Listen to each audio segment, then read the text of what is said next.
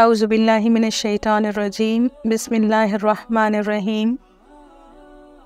رب اشرح لي صدري ويسر لي أمري واحلل عقدة من لساني يفقه قولي. بسم الله الرحمن الرحيم. السلام عليكم ورحمة الله وبركاته. Dear sisters, today we are starting our new lecture series in English language. And uh, I ask Allah subhanahu wa ta'ala to make it easy for me to deliver and to make it easy for you to understand. My first topic is qualities that make Quran a miracle. Alhamdulillah, we are very blessed that uh, we are Muslims, but unfortunately, it is our weakness that we have not given um, time to the Quran and to understand the Quran, and we have not given thought uh, about the glorious um, Islam that we follow. So, dear sisters, it is very important for us to uh, to get some time in everyday life to start understanding uh, the Quran. May it be a verse or two, and may it be uh, five minutes or ten minutes. But we have to uh, take this time out of uh, all our worldly responsibilities. Because being a Muslim, Allah subhanahu wa ta'ala says that uh, we have one more life to come, and that is hereafter. And that life is um, uh, will start after our death. So, a Muslim, when believes in this um, he or she should get prepared for that life. So, we will start with baby step baby steps right we will start by 5 minutes a day 10 minutes a day.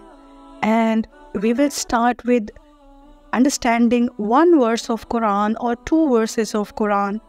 And allah subhanahu wa ta'ala will make it easy for us to get more and more knowledge and nur of the holy quran. So let's begin our today's topic. My today's topic is how Quran is a miracle. The Arabic word for miracle is mojiza. Miracle is something uh, which claims to be incomparable. So we as a Muslim are taught that your Quran, the book that is uh, given to you by Allah subhanahu wa ta'ala through uh, our messenger Hazrat Muhammad sallam, is a miracle. But we need to understand how Quran is a miracle.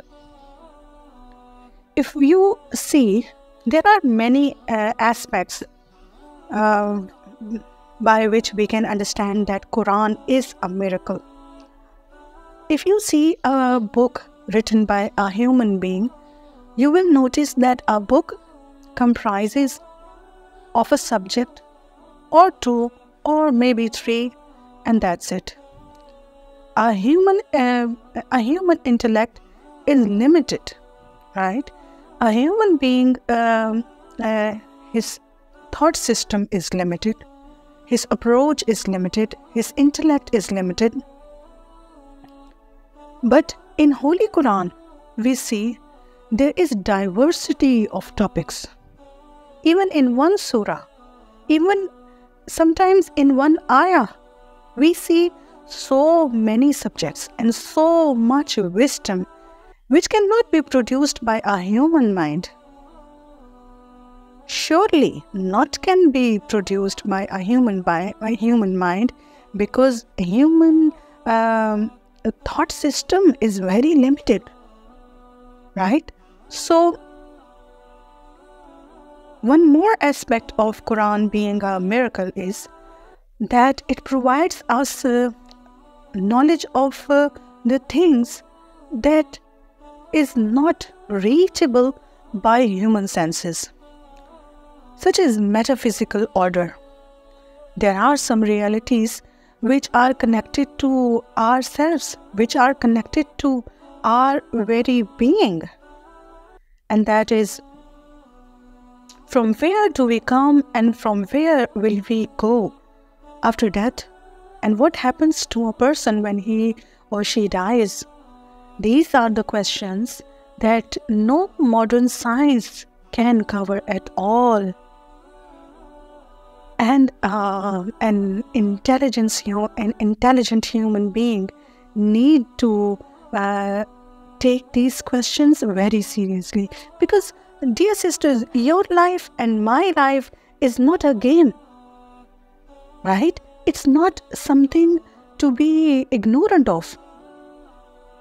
I, being a uh, being an alive human being, and I certainly go out of this world and I have no control over myself or on the life of my loved ones. If something, um, some uh, accident or something happens to my loved ones, I have no control over them. Many of our loved ones may be passed away uh, from this world. May Allah forgive forgive them and forgive us. But what is in our hand? Allah subhanahu wa ta'ala says in Quran that you have been given a very little knowledge. So these are questions um, which uh, a human being should be very thoughtful of and these uh, questions are answered in the Holy Quran. Then, uh, if we discuss about human life, different aspects of human life, be it spiritual, physical, individual, or collective, Quran provides us about all these uh, aspects of human life a complete guidance.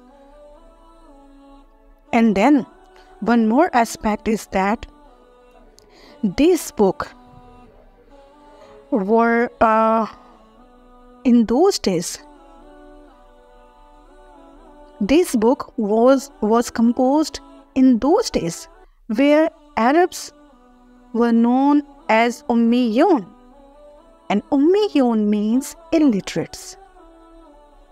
And that the book came through the holy prophet who could not even read or write and who had not tried to learn even the arts of poetry. So, this fact in itself is nothing short of a miracle.